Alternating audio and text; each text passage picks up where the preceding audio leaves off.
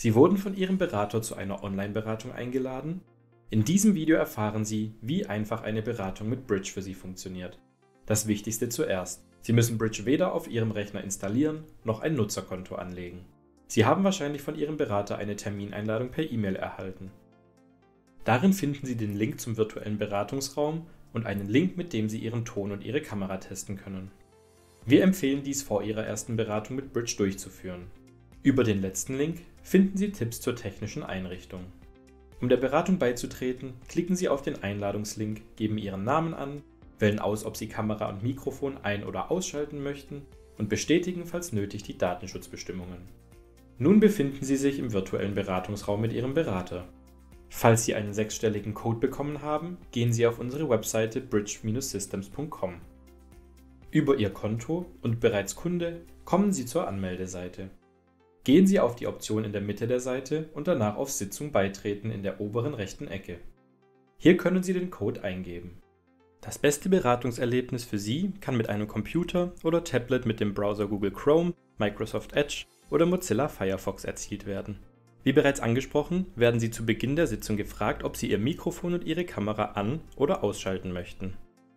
Die Auswahl kann jederzeit in der linken unteren Ecke durch Klicken auf die entsprechenden Symbole geändert werden. Sollten Sie Probleme mit Kamera oder Ton haben, können Sie links in der URL-Leiste auf das Schlosssymbol klicken, das gewünschte Mikrofon oder die gewünschte Kamera freischalten oder blockieren.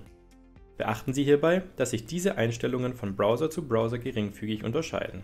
Genauere Informationen dazu finden Sie in einem separaten Video.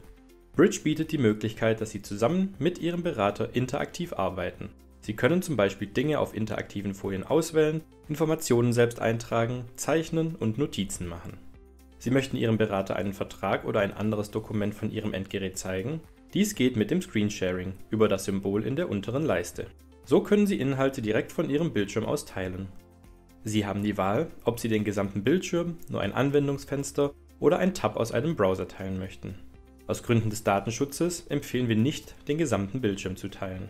Um das Screensharing zu beenden, gehen Sie einfach zurück in die Beratung und klicken Sie auf Bildschirmfreigabe beenden.